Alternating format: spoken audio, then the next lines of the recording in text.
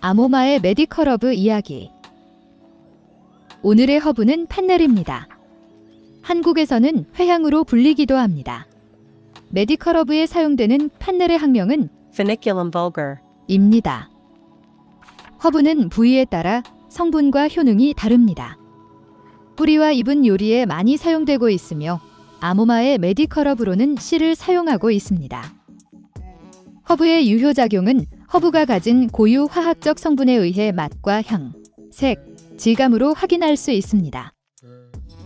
피니켈럼 벌게어의 케미컬 성분은 주로 씨앗의 essential oil에서 발견할 수 있으며 트란스아네톨, 플라보노이드, 지방산, 피넨, 리모넨, 단백질, 비타민 A, C, E, 칼슘, 마그네슘 등 미네랄 성분이 풍부합니다.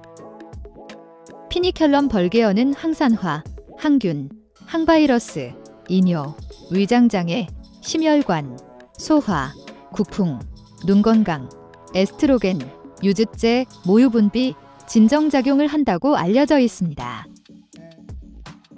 판넬은 국내에서는 다이어트 허브로 알려져 있지만 기원전 460년 히포크라테스가 이뇨와 여성 생식계, 소화 등에 사용해온 오랜 역사를 가진 허브입니다. 허브의 케미컬 성분에 따른 유효작용의 사용은 매우 광범위합니다. 판넬은 방향성이 높은 허브로 항산화, 항균, 항염증, 혈액순환, 유즙 분비, 부종, 노폐물 배출 등 인체의 각 기관에 유용한 허브로서 뿌리와 잎은 요리에 많이 사용되고 있습니다.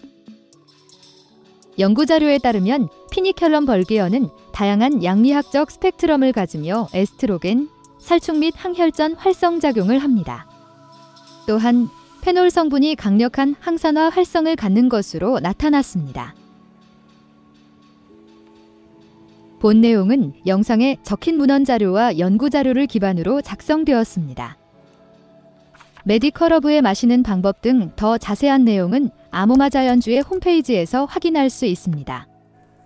아모마 자연주의에서 메디컬러브를 만나보세요.